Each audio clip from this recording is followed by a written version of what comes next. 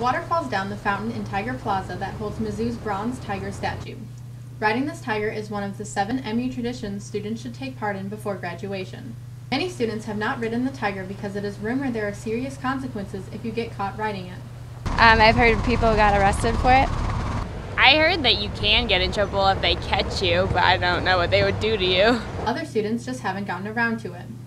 Well, it's my first year here, so I haven't really had much time. I didn't really know people rode the Tiger. Because I haven't had a chance to. Captain Brian Weimer says that although rumored, it is not illegal to ride the tiger. There is not a statute or ordinance that discusses riding the tiger. However, if a police officer asks you to get off the tiger and you refuse, or you get back on the tiger, you can be arrested for trespassing.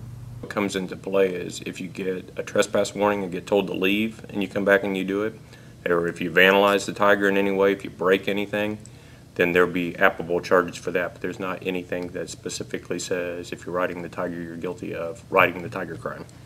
It takes a lot of effort to get on the tiger, so make sure you bring your friends with you to help you up and to take a picture.